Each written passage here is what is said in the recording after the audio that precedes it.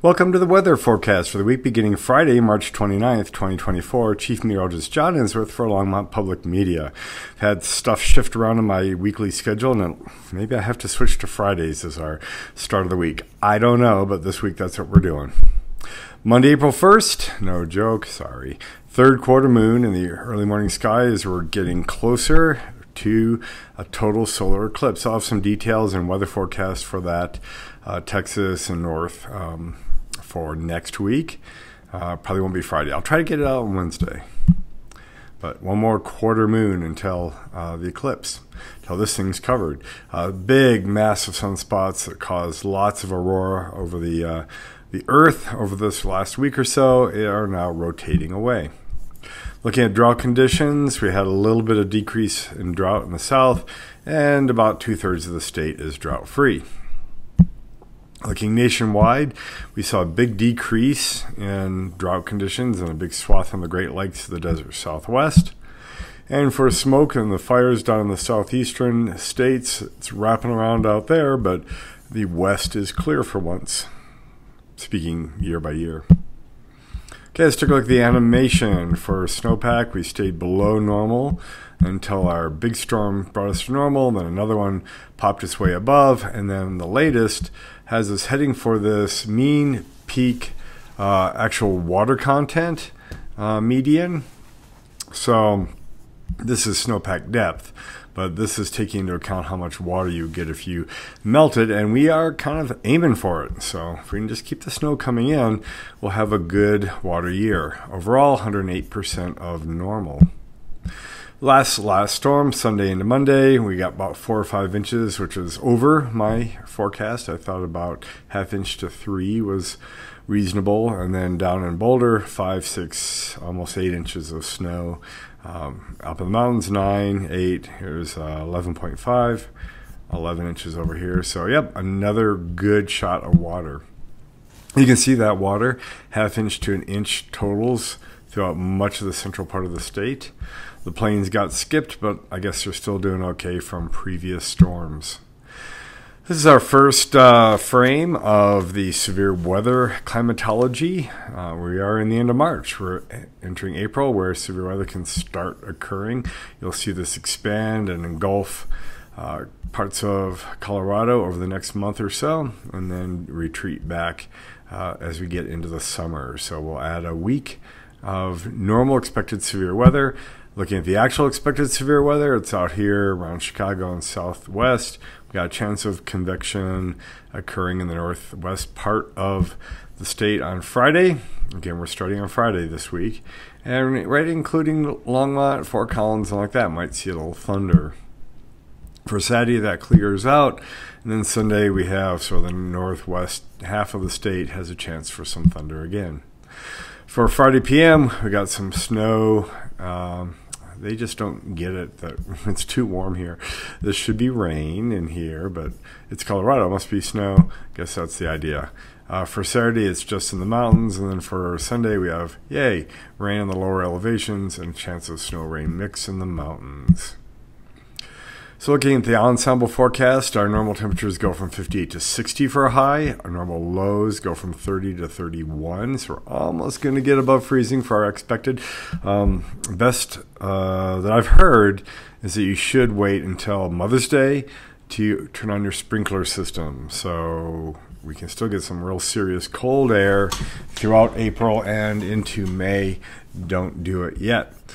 The ensembles here have a really strong uh, signal for precipitation on Monday. Uh, I'm giving it a lower percent chance, more like 50 to 75% chance, but yeah, we'll probably see rain. Uh, we're definitely getting rain now on Friday, and the signal is pretty weak for that. Looking at the moisture, we do have a lot of moisture streaming into the state. Here's a subtropical jet. Here's more flow from the subtropics. And yeah, the west has moisture. California is still getting a lot of rain.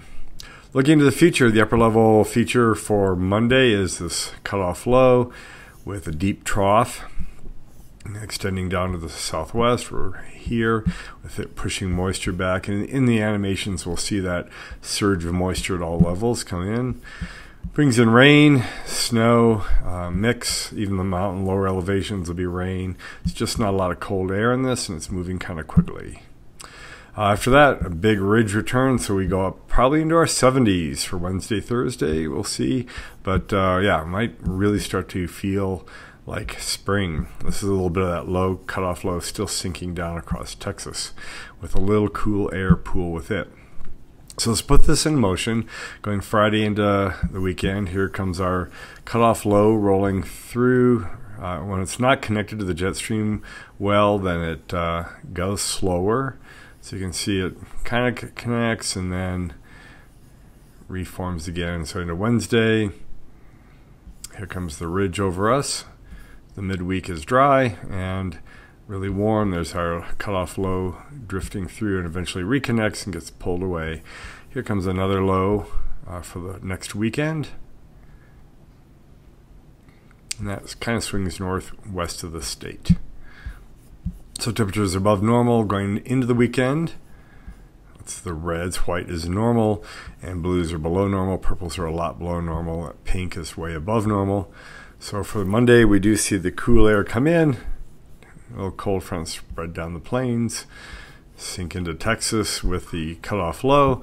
We are quickly back to above normal with the cool south of us and then southeast of us. For Friday next week, still above normal.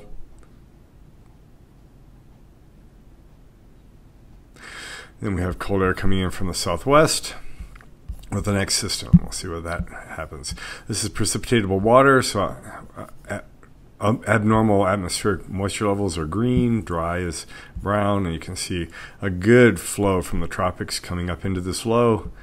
It sits in pools for a little bit, gets shoved back around the low, and then gets pushed out. Looking at dew points, this is surface uh, moisture. You can see the Green here is above what we normally would expect in this area, and it's lingering around. The low pulls back a good tongue of 30, 35 dew point uh, temperature. So again, we're above normal, so we probably see rain rather than snow. It's too warm, and then it dries out after that. Let's look at the actual precipitation for Friday. We see the rain coming off the mountains into Sunday. It's north of us and west of us. Then the low forms, gives up slope and rain, some people might see a change over to snow now and then, especially on Monday morning, maybe again late Monday. But yeah, it's not going to be much on the lower elevations, one to three inches up in the mountains. It's just not strong storm. So here's Friday next week.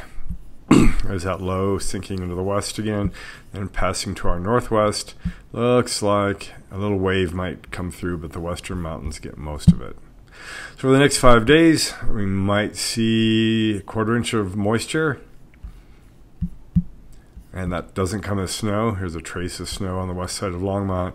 Boulder seeing maybe a couple inches. I think that's really optimistic, but we'll see. And then over the next 10 days, it really doesn't change. There's not much more coming in. The map almost looks identical. So 50s and 60s into the weekend. Uh, Monday, we might only reach into the 40s, upper 40s or mid 40s, but I'm giving it 51. I'm seeing a little warmer stuff there. So 75% chance of precipitation, mostly cloudy on Monday. The precipitation comes mainly Sunday afternoon and evening um, for Longmont. Easter morning forecast: sunrise is at 6:34 a.m. and the temperature should be 36 degrees, so not horribly cold. Mostly clear, 20% cloud cover.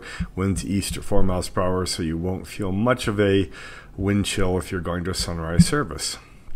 Okay, March is also starting too. Uh, sorry, April starting too. So looking back at March, they gave us equal chances of above and below normal. I think we ended up being a little above normal for temperatures.